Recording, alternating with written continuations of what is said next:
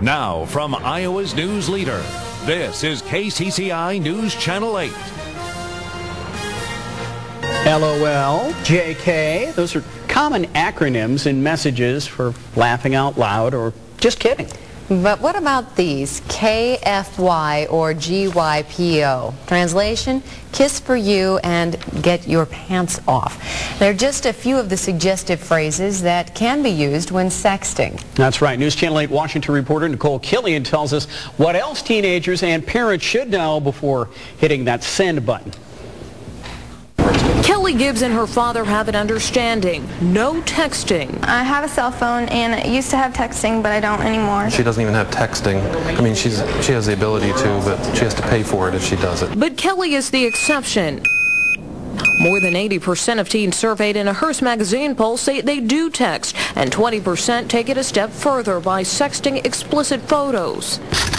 So what's a parent to do? We asked Stephen Balkam of the Family Online Safety Institute. All of the mobile carriers now have parental controls, all for free.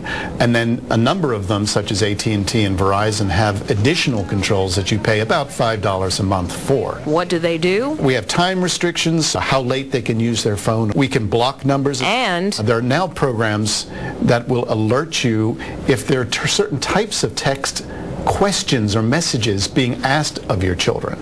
Uh, where's your, you know, where do you live? How old are you? Will you come and meet me? For iPhone users, there are now ratings for age-appropriate apps, and there are also restrictions to block explicit content. But remember, nothing is foolproof. Remember, the teens are the ones who've mastered this technology first, so chances are they're going to find a way around it if they really want to. So the best advice? You don't need to be an expert on technology. You are an expert on being a parent. So remember that. A tip this dad won't forget. In Washington, I'm Nikole Killian.